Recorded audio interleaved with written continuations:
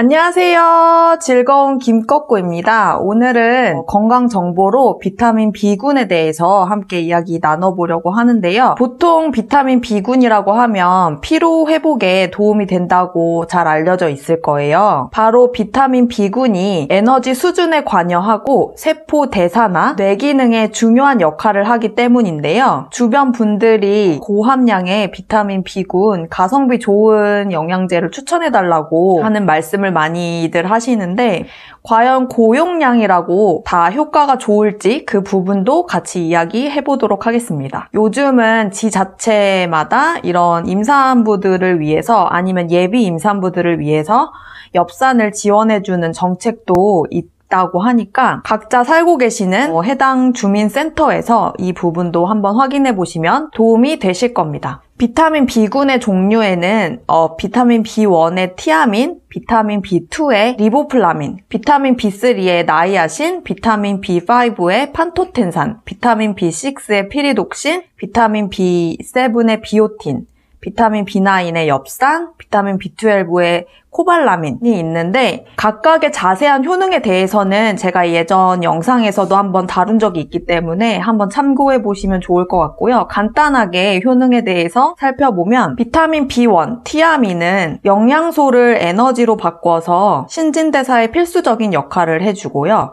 비타민 B2 리보플라빈은 음식을 에너지로 바꾸는 역할 그리고 항산화제 역할을 한다고 합니다. 비타민 B3인 나이아신은 세포 신호 전달, 그리고 대사, DNA 생산과 수리 역할을 하고요. 비타민 B5인 판토텐산은 음식으로부터 우리가 에너지를 얻도록 도와주고 호르몬과 콜레스테롤 생성에 관여하고 비타민 B6인 피리독신은 아미노산 대사와 적혈구 생성, 또 신경 전달 물질 생성 등에 관여를 하고 있습니다. 비타민 B7인 비오틴은 탄수화물과 지방 대사에 필수적이고 유전자 발현을 조절합니다. 비타민 B9인 엽산은 세포 성장, 아미노산 대사, 그리고 적혈구와 백혈구 형성, 또 적절한 세포 분열을 위해서 꼭 필요합니다. 비타민 B12인 코발라민은 신경기능과 DNA 생성, 또 적혈구 발달에 아주 필수적입니다. 어, 이 표를 보시면 최적 섭취량과 최대 함유량에 대해서 잘 정리를 해뒀는데요. 우리가 흔히 듣는 권장 섭취량은 97에서 98%의 사람들의 영양소 필요량을 충족시키는 섭취 기준으로 결핍 증상이 일어나지 않기 위한 최소한의 필요량을 말하고요. 영양 결핍으로 인한 임상 증상을 나타나지 않게 하는 최소의 섭취량을 말하는 거지만 많은 임상 연구를 통해서 영양소를 권장 섭취량 이상으로 복용하는 것이 효과적이라는 의견이 있으며 그 중에 하나의 기준이 바로 최적 섭취량입니다.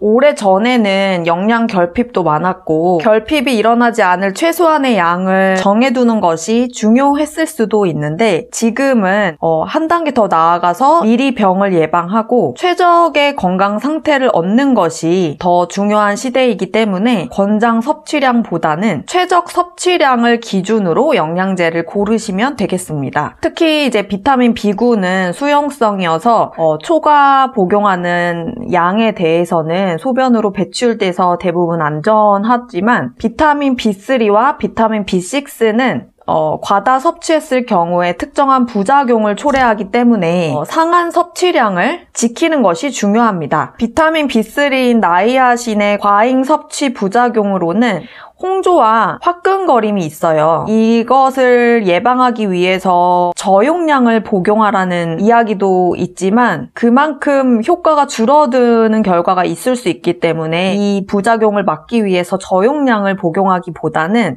이 나이아신의 형태를 살펴보는 것이 좀 필요합니다. 일반 의약품에서 사용할 수 있는 나이아신의 형태로는 니코틴산 아마이드 그리고 니코틴산 이렇게 두 종류가 있어요. 둘 다 체내에 서는 NAD 플러스로 전환이 돼서 에너지 생성 등에 작용하는 것은 동일하지만 니코틴산의 경우 상한 섭취량이 35mg인데 반해서 니코틴산 아마이드 같은 경우는 상한 섭취량이 1000mg입니다. 다시 말하면 나이아신의 형태가 니코틴산일 경우에 적은 복용량으로도 홍조나 화끈거림을 느낄 가능성이 높지만 형태가 니코틴산 아마이드일 경우에는 동일 용량을 복용했을 경우에 이러한 부작용이 발생할 가능성이 더 적다고 이야기할 수 있습니다. 비타민 B6인 피리독신의 부작용은 50에서 200mg 정도의 고용량으로 장기간 복용했을 경우 운동 실조와 감각 신경 병증을 포함한 증상이 나타날 수 있는데요.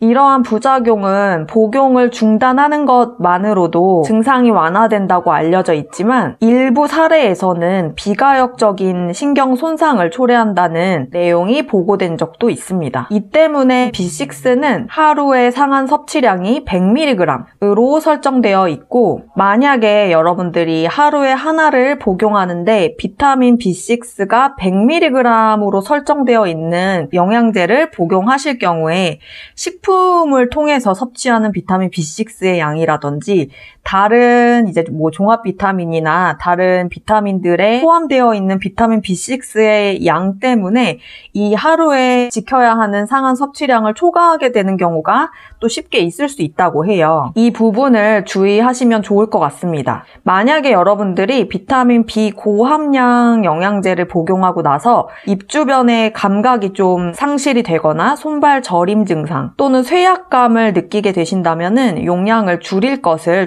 추천한다고 해요. 여기까지 비타민 B군의 역할과 최적 섭취량 그리고 부작용까지 알아봤고요. 도움이 되셨기를 바라고 저는 다음에 또 다른 내용으로 찾아오도록 할게요. 안녕!